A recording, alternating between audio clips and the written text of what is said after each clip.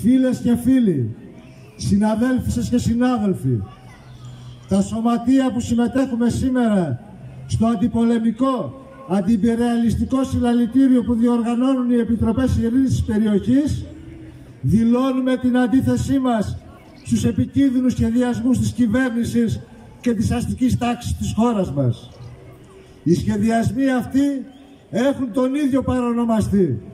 Τα κέρδη και τα συμφέροντα των μεγάλων οικονομικών ομίλων και συμβαδίζουν με την αντιλαϊκή πολιτική κατά της εργατικής τάξης του λαού συνολικά.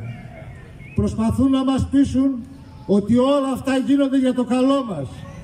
Πως οι ιδιωτικοποιήσεις στα λιμάνια της Αλεξανδρούπολης και της Καβάλας θα είναι πόλη ανάπτυξης για την περιοχή μας.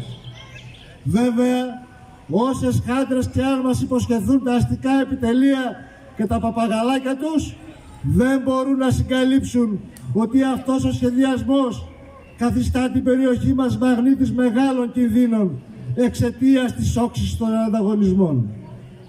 Συναγωνιστές και συναγωνίστριες, όλα αυτά τα παραμύθια τα έχουμε ξανακούσει όταν άλλα μεγάλα αναπτυξιακά έργα προχωρούσαν στην περιοχή μας.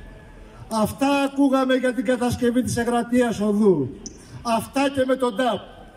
Όμως η εμπειρία του λαού της περιοχής μας άλλα δείχνει. Παραμένουμε μία από τις φτωχότερες περιοχές στην Ευρώπη. Από τις πρώτες στην ενεργειακή φτώχεια. Οι ελάχιστες κακοπληρωμένες θέσεις εργασίας των έργων ήταν σταγόνα στον ωκεανό της τεράστιας ανεργίας που βιώνουμε στην περιοχή.